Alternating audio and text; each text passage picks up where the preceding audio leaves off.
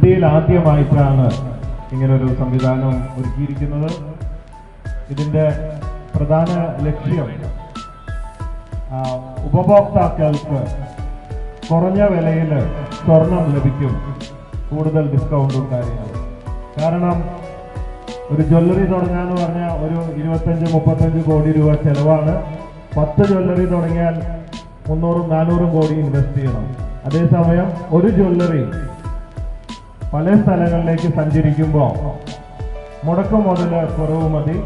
അതിനാൽ ചെലവ് കുറവ് മതി. സ്റ്റാഫ് ഇലക്ട്രിസിറ്റി ഒരുപാട് ചെലവുകൾ കുറഞ്ഞിരിക്കും.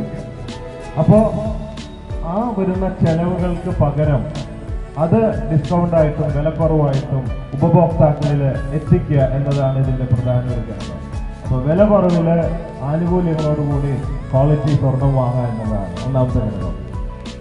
രണ്ടാമത്തെ കാര്യം ഇപ്പൊ എല്ലാവരും സ്വർണം വാങ്ങാൻ ജ്വല്ലറികളിലേക്ക് വരണം ബസ് കയറി കാറിലും ട്രാഫിക് ജാമൊക്കെ ആയിട്ട് വരണം. ഇനി മുതൽ ജ്വല്ലറി ഓരോരുത്തരുടെ വീട്ടുപടിക്കിലേക്ക് അങ്ങോട്ട് പോവുക. അതാണ് മറ്റൊരു സൗകര്യം ഒരു പൊതുവെയുള്ള കാര്യമാണ്. ഇതാണ് പ്രധാന രണ്ട് ഘടകങ്ങൾ പിന്നെ ഇതിൽ എല്ലാ സംവിധാനങ്ങളും ഒരുക്കിയിട്ടുണ്ട്.